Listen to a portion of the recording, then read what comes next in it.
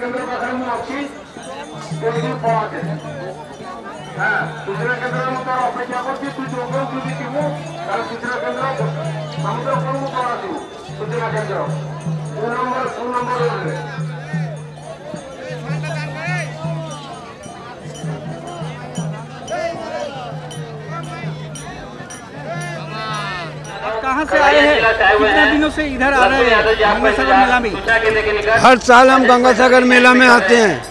हाँ हम रहते गुवाहाटी में। तो गंगा सागर में क्यों आते? जो कपिल मुनि जो है, वो हमको हर चीज़ से हमको अच्छा रखा है। यहाँ नहाने से हर चीज़ हमको अच्छा मिलता है। जब भगीरथ लाया था गंगा को हाँ तो वही टाइम में कपिल मुनि को ये तो कुछ नहीं रहता रहा, ये तो पानी का अंदर रहता रहा।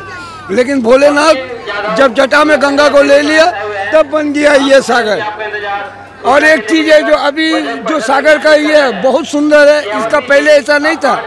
आने में तकलीफ़ था हर कुछ था जब से ममता बनर्जी मुख्यमंत्री बन गया हाँ तब से पूरा ये सागर पलट गया। और सागर में एक चीज़ है, यहाँ साल में एक बार होता है, और कोई भी साधु जो है, हम लोग हम लोग जैसा साधु है, वैसा बहुत ऐसा भेजदारी है जो अपने आप को छोटा कर रहा है। उन लोग उन लोग छोटा करता है तो हम ही लोग को लगता है। और गंगा सागर में एक चीज़ है जो ये साल का जो मेला, हम तो बोलेंगे सबको एकदम खुशहाली रहे, सब सुंदर रहे। हर साल जैसा सागर में, इस साल जैसा दस से बारह लाख आदमी हुआ, हर साल जैसा इससे भी ज़्यादा होवे। जैसा कुंभ का मर जाता है, वैसा ही गंगा सागर का मर जाता होना चाहिए। हर हर महादेव, कपिल मुनि की जय हो, गंगा माता की जय हो, समुंदर की जय हो। धर्म की जय हो, अधर्म की सर्वनाश हो, विश्व का कल्याण हो, देश का हर हर महादेव हो। जय भोले, जय श्री।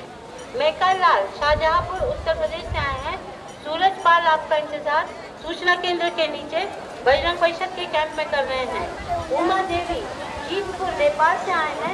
राजकुमार आपका इंतज़ार। सूचना केंद्र के नीचे बजरंग परिषद कैंप में कर रहे हैं। संतो यादव, खगड़िया बिहार से आए हैं। रासो यादव आपका इंतज़ार। सूचना केंद्र के नीचे बजरंग परिषद कैंप में कर रहे हैं। हमारा सूचना केंद्र और बजरंग परिषद दो नंबर के रास्ते पर पुलिस